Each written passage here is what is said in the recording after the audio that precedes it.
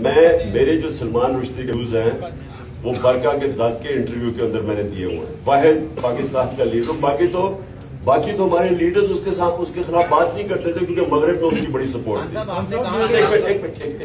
एक तो मेरे बड़े क्लियर व्यूज़ हैं। उससे और उस इंटरव्यू में भी मैंने कहा कि इसने डेढ़ डेढ़ अरब मुसलमानों की इसने तोहीन की। मैंने बड़ा वाजे है और मैं फिर से आपको रिपीट करता हूँ कि ये जो, मैं जो बात कर रहा था, वो स्पेसिफिकली कर रहा था कि जो तरीकाकार है, और मैं फिर से आपको कहता हूँ कि अगर आप ये इसको अलाउ कर देंगे, इजाज़त दे देंगे, जो श्रीलंका के अंदर उन्होंने उसको फैसला किया कि यही इसने किया है तोहिन, और सारों ने पकड़े चला दिया उसको। आपको अंदाज़ा नहीं है कि इस मुल्क को कितना नुकसान हुआ। मैं प्राइम मिनिस्टर था। बाहर के लीडर्स की कॉल्स आए मुझे।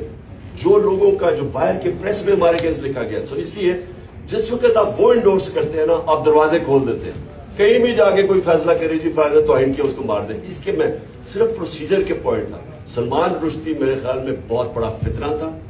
मेरे बड़े उसके ऊपर क्लियर व्यूज़ है। मैं उस, उसको कहा कि मैं कभी इस, किसी फोरम के करीब हम नहीं जाना चाहते जिधर ये ये फितना जिसको पता था कि मुसलमानों को होते हुए इसे तकलीफ़ पहुंचाई।